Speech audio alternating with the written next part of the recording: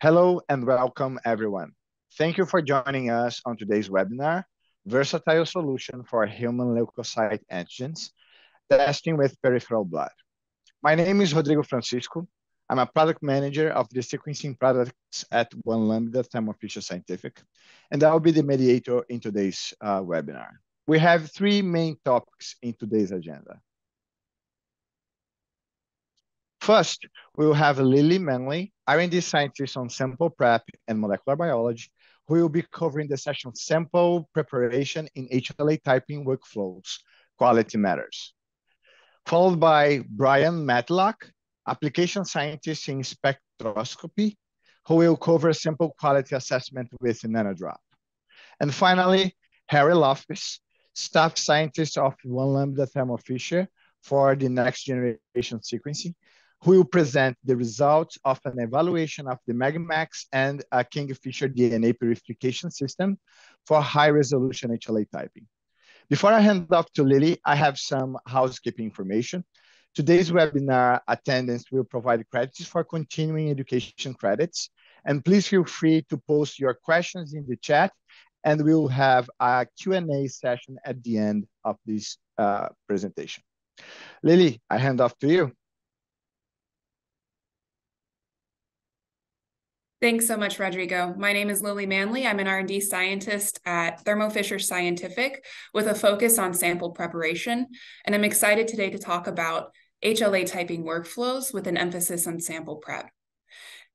Here within the whole workflow, we talk about a full solution option from sample collection all the way down to analysis with HLA typing workflows. We're going to share this workflow schematic throughout the webinar. In this portion of the webinar, I'll be focusing specifically on the extraction of nucleic acid with our solutions from whole blood and buccal swabs, utilizing our MagMax DNA multisample ultra chemistry on our Kingfisher instrumentation.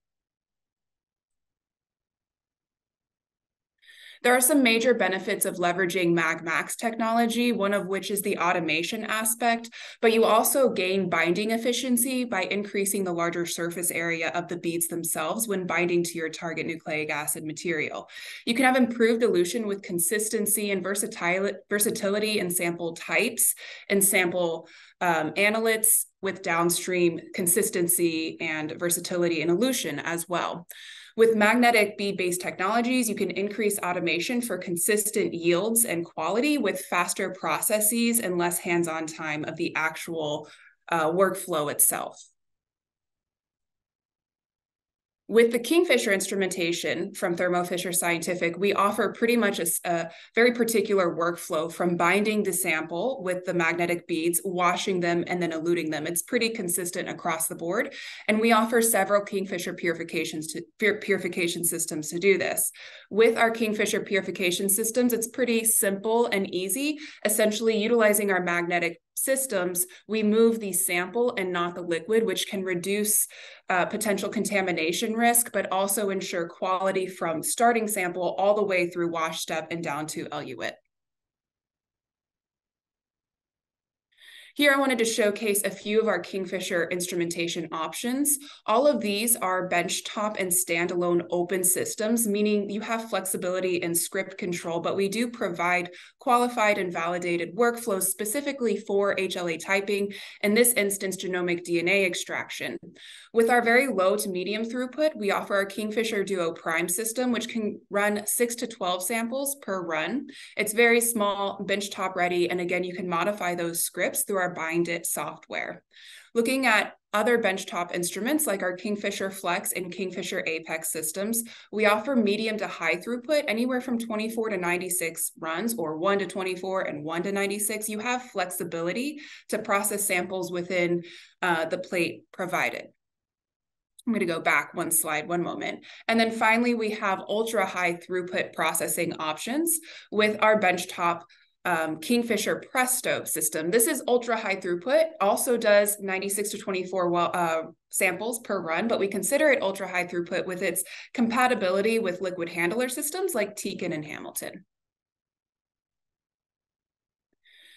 I mentioned earlier that with HLA workflows, we focus on genomic DNA nucleic acid. So with this, we offer our MagMax DNA multisample Ultra 2.0 kit chemistry, which is compatible on our Kingfisher purification systems. This is a very high quality magnetic bead based um, isolation kit that we have optimized workflows for whole blood.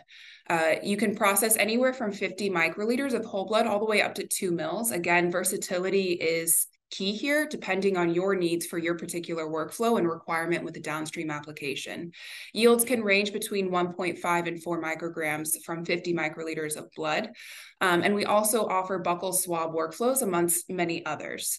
Uh, total processing time can be uh, any less than 45 minutes with only five minutes of hands-on time to prep your reagents, anywhere from six to 96 samples within the workflow. To the left, I have a chart which indicates uh, total yield and linearity from 50 microliters to uh, two mils of nucleic acid extracted from whole blood. The yield is indicated with the linearity graph of genomic DNA. You can see there are two donors indicated by red and blue with an R squared above 0.99. On the bottom, which is section B of it, we indicate purity and quality of the same donors um, uh, across 260, 280 and 260, 230 ratios. We have developed an application note, which you're welcome to reference, which we evaluated 96 independent whole blood samples, leveraging our internal HLA workflows for Thermo Fisher. So from sample all the way down to analysis. Here I have indicated some basic quality uh, metrics, including on the top portion, 260, 280 ratios, indicating purity of these 96 independent peripheral blood samples. And then on the bottom, I have genomic DNA concentration across these 96 independent samples as well. You can see that the quality across the 96 samples were very consistent and high, um, indicated by the 260 280 ratios, and yields varied by donor, but overall, the minimum requirements of HLA typing workflows were met, and we were able to move forward with our analysis. I'd like to go ahead and pass it off to Brian Matlock, who will be talking about sample quality assessment with NanoDrop. Thank you, Lily. Um, welcome everyone. Uh, so I'm I'm here to discuss the vital role that UV-Vis plays in assessing genomic DNA sample quality. So if you look at the graph on the left, um, this is the spectra of pure DNA. It has a pronounced peak at 260 nanometers. That is what we use to determine concentration. And historically, we've leaned on the 260 280 and the 260 230 ratios to really gauge the purity of our DNA and RNA samples. Below, I show a table. So a 260, 280 ratio of between, for DNA of between 1.8 and 2.0 indicates that there's no protein contamination present. A 260, 230 ratio between 1.8 and 2.2 signifies that there's an absence of any organic contaminants like guanidine HCl that can come through in the extraction. But one thing I'd like to point out is oftentimes these purity ratios alone don't reveal the entire quality picture. So you can see the purity ratios really only reflect three points on the full spectral graph of uh, DNA. In the early 2000s, array-based spectrographs became more readily available. And what this allowed molecular biologists to do is to collect full spectral data much faster. So full spectral data allows us to get a much clearer picture of pure of our nucleic acid preparations and what else is possibly in that sample. So let's delve into the effects of three common contaminants. So protein, phenol, and guanidine.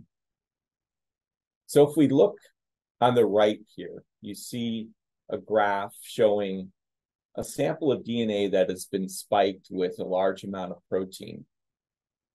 And it really reveals uh, something to consider is that protein affects the, the overall height at 260, which thus affects your concentration. So if your sample is contaminated with protein, the A260, 280 will be lower. And that concentration that is reported is not accurate. So the second graph is showing the effect of phenol.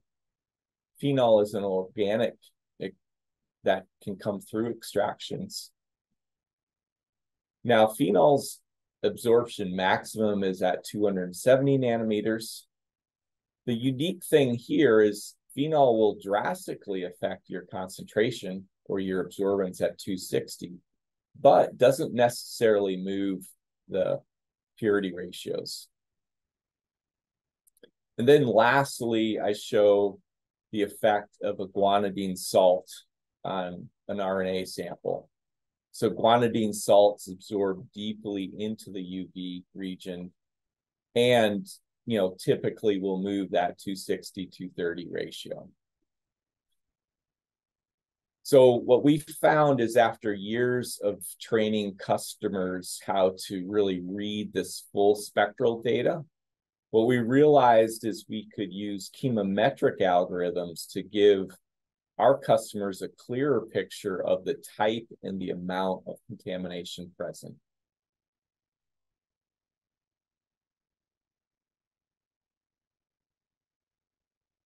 So in the past eight years, we've introduced uh, chemometric algorithms we call our Acclaro software into our NanoDrop devices, specifically the NanoDrop 1 and the NanoDrop 8 models. This feature now flags potential contamination and also gives an accurate concentration, corrected concentration by removing that contaminant spectra.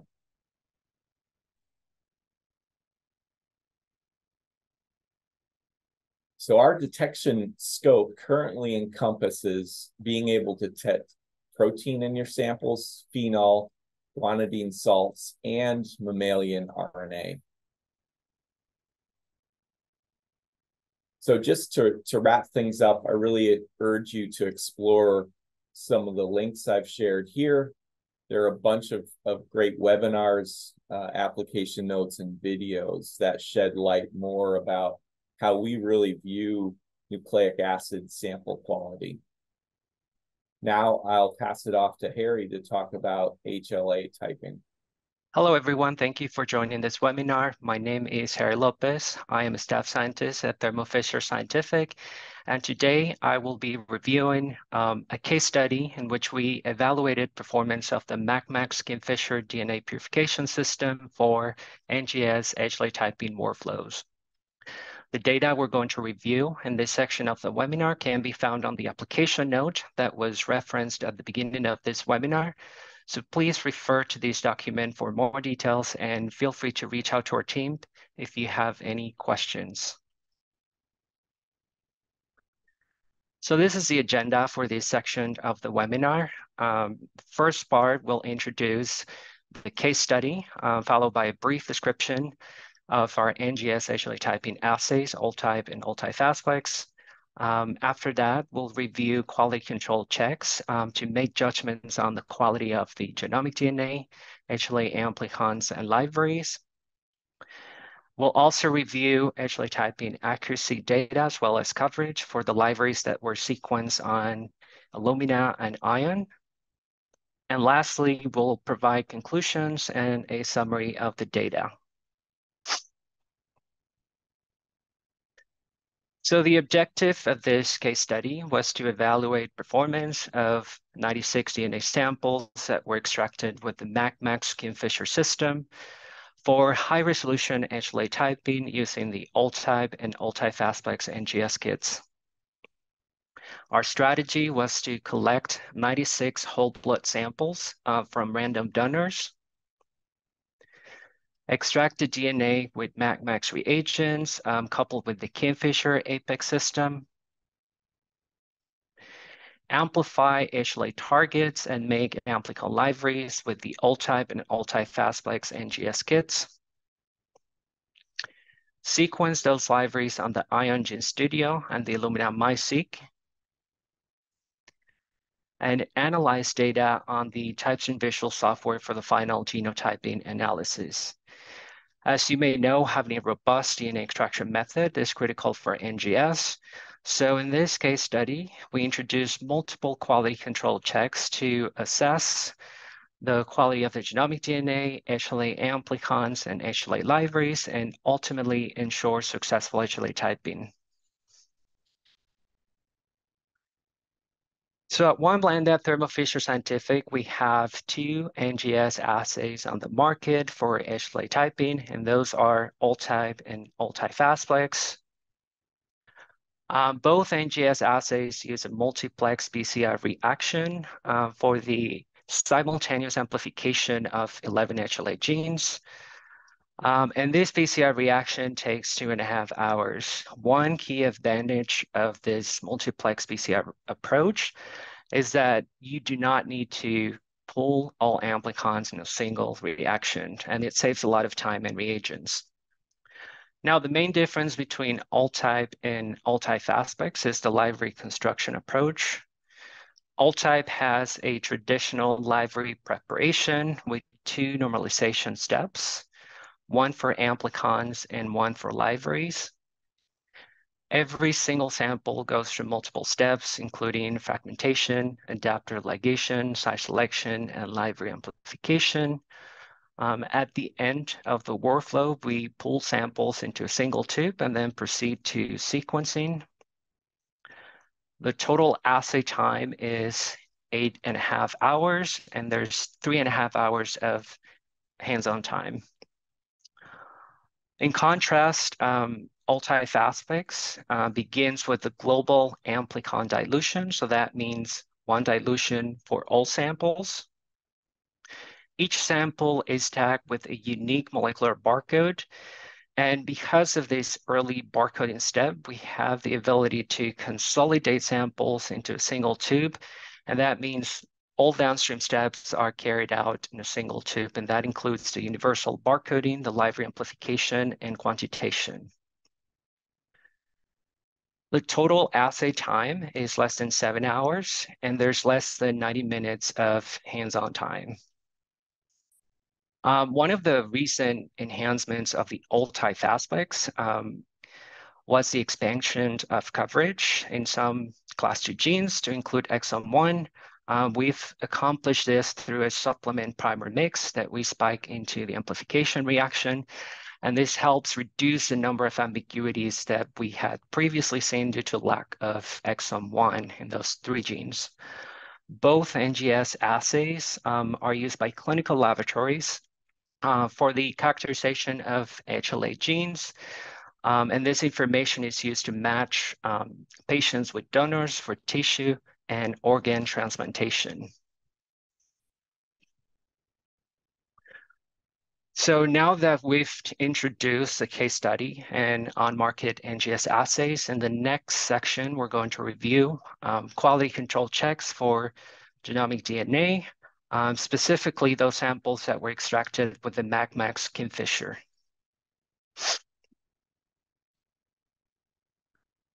So in our experience, uh, most failures we see in NGS have to do with poor quality DNA. Um, and there are different instruments that can generate QC data um, to ensure that the DNA that we have for NGS is optimal. For example, we can use DNA fragment analyzers such as the 4200 TapeStation um, to evaluate the DNA profile. Um, through electropherograms, uh, we can determine the molecular weight, uh, we can also use DNA integrity numbers um, to assess the integrity of the DNA.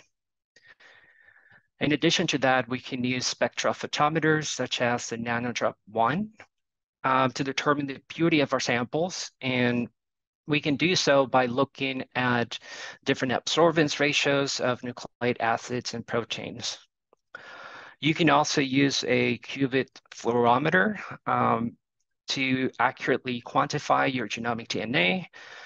Um, and in that case, you might want to use high high sensitivity or broad range reagents. Um, so for this case study, we collected data from these three instruments um, to assess the robustness of our extraction method, in this case, the MagMax Kingfisher. So our first quality control check is the um, DNA molecular weight. Um, in the context of AllType and all type FASTplex, we need long intact DNA fragments for robust amplification of HLA genes. So ideally, what we want to see is um, long fragments with no signs of shearing.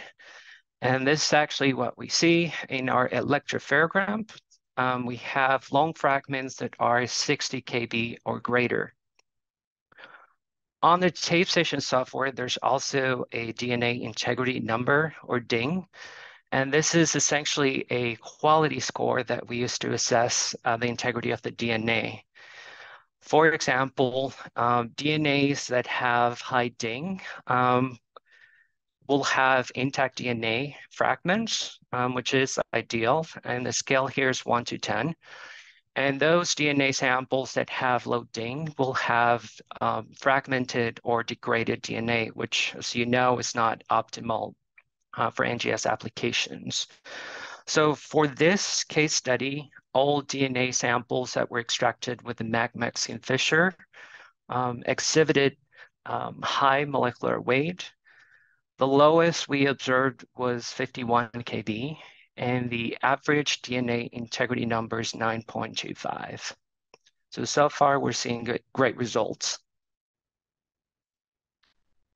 Our second quality control check is DNA purity. And as Brian mentioned, DNA purity is determined by measuring um, different absorbance ratios of nucleic acids and proteins. Um, we know that nucleic acids absorbed UV light at 260 nanometers and proteins at 280. So we can use these ratios to determine the purity of the extracted DNA. For this case study, um, we observed um, average ratios of 1.89 with very little variability. Um, and as Brian mentioned earlier, um, a range of 1.8 to 2 is usually indicative of high purity, and ratios that are above or below that range might indicate um, RNA or protein contamination. Um, another absorbance ratio that is often associated with uh, nucleic acid purity um, is the 260 and the 230. And this could be used for detection of chemical, chemical contamination um, such as phenol, EDTA, and salts. For this case study, um, we observed average ratios of 2.2, um, which is also indicative of high purity um, nucleic acid. So, so far we're seeing high purity of genomic DNA. Our third and last QC for genomic DNA um, is measuring the concentration. And for this, we're going to use Qubit with high sensitivity or broad range reagents. Um, so in this case, we observed high yields for all 96 samples that were extracted with the MagMax Kingfisher. The average concentration was 176 nanograms per microliter. And the lowest concentration that we observed was 57 nanograms per microliter. So in all cases, um, we met the genomic DNA input requirements for um, the amplification of HLA genes using the AllType and AllType NGS kits. So, so far we've reviewed um, three quality control checks for genomic DNA, and we've seen high molecular weight, um, high purity, and high concentration. Uh, for the next section, we're going to review quality control checks for HLA amplicons and libraries that were made with the AllType and AllType FASTplex NGS kits. So in theory, if you have um, high quality DNA, you should see robust amplification of HLA targets. Um, there are a few quality control checks that we could introduce to the NGS protocol to make sure that's the case. Uh, for example, we can use a 4200 TapeStation to verify HLA amplification. So in this case, we'll be checking the amplicon size. And we also use Qubit uh, for an accurate uh, quantification of amplicons and libraries that we'll use for um, library preparation and sequencing. So we collected data from these two instruments um, to ensure that we had optimal performance of the AllType and AllType FASTplex NGS kits. So our next quality control check is amplicon size. Um, as you may know, AllType is compatible with Ion and Illumina platforms. Um, we use the same primer mix formulation for both platforms. However, the PCR program is different. So in this case, we expect to see an amplicon size of 5 to 6 kb. And this is in fact what we observed for all samples that were extracted with the MagMax Kingfisher and amplified with the AllType 11 loci primer mix. So the TapeStation shows robust amplification for all samples. Multi-FASTplex is also compatible uh, with Ion and Illumina platforms. Um, we do have different PC, uh, Primer mix formulations for each platforms, as well as different PCR programs. Uh, the TapeStation profile would be slightly different in this case. We expect to see multiple bands, including the uh, main amplicon, which is 5 to 6 kb. But we also have a supplement um, primer mix that will generate smaller products. Um, in this case, we expect this to be um, 1.5 to 2.3 kb. And just like AllType, um, we observed robust amplification uh, for all the samples extracted with MagMax Kingfisher and amplified with the AllType FASTplex 11 loci primer mix. Our next QC check is amplicon concentration, and for this we use the Qubit um, with high sensitivity reagents. So for AllType, we observed average concentrations that were equal or greater than 50 nanograms per microliter. And for AllType we observed average concentrations that were equal or greater than 34 nanograms per microliter. Um, so in all samples, we generated um, amplicons that met our input requirements for library prep using the AllType and AllType NGS kits. Our last QC check is for HLA libraries. Um, and again, we're going to use the Qubit fluorometer um, with high sensitivity reagents. Um, here, um, we observed high concentrations for all libraries. Um, we observed greater than 11 nanograms per microliter. Um, the amount of library that's used for template prep and sequencing depends on the sequencing platform as well as the kit. Um, but in all cases, we have enough material um, to sequence this library on the ION and the Illumina sequencing platforms. So, so far we've reviewed um, six quality control checks for genomic DNA, HLA amplicons, and libraries. For the next section, um, we're going to review two additional metrics, and those are accuracy and coverage uh, for the libraries that we sequence on ION and Illumina platforms. So after sequencing HLA libraries on the ION Gene Studio and the Illumina MiSeq, um, we analyze FASTQ files on the TypeStream Visual software. And we compare typing results between the two assays, um, AllType and all type FASTplex, and the two sequencing platforms um, ION Gene Studio and Illumina MiSeq. Um, in both cases, we observed 100% concordance um, in the typing results. Um, but we did observe additional ambiguities in AllType, which was expected because we do have less coverage um, in class two compared to AllType FASTplex.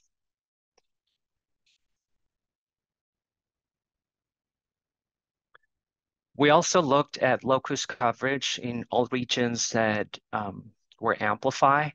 as a way to confirm robust amplification and performance of the NGS kit. Um, in all cases, we observed coverage above 200 for all regions that were amplified, which gives us more confidence in our HLA typing results.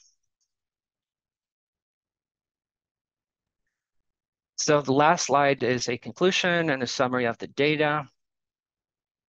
So based on the data that we've shown today, um, we conclude that the MagMax Kingfisher DNA purification system delivered high quality genomic DNA, which translated in robust amplification of HLA targets and accurate HLA typing using the AllType and AllType FASTplex NGS kits.